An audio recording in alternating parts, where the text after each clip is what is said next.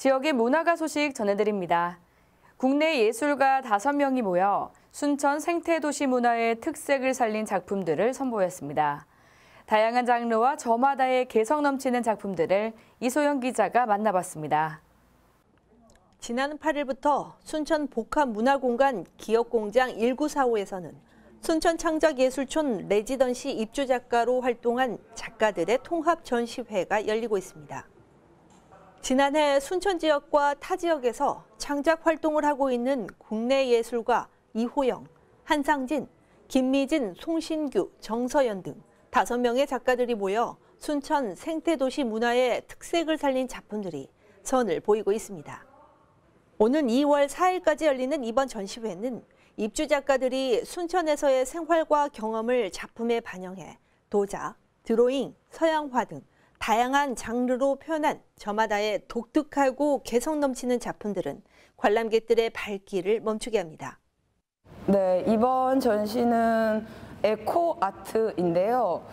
어, 말 그대로 우리가 어떻게 자연을 바라보느냐의 의미도 있지만 우리가 어떻게 자연 안에서 살아가느냐에 대한 작업인 것 같아요. 그래서 이번 장안 창작마다 레지던시 프로그램에 다섯 분의 작가가 입주해서 길게는 6개월, 적게는 3개월 동안 작업을 했는데 되게 다양하게 자연을 바라보는 시각이 담겨 있어요. 밖에서 보이는 것을 표현하는 사생화적인 것도 있고 자기가 생각하는 인간과 자연의 조화나 파괴를 표현한 작업도 있고 또 말 그대로 인간에 대한 탐구를 한 작가님도 계시고 내부에만 있다가 밖으로 나가서 자연을 바라보고 표현하고자 한 작가님도 있고 또 저처럼 아주 작은 생명체들과 인간의 사랑을 표현한 작업도 있습니다.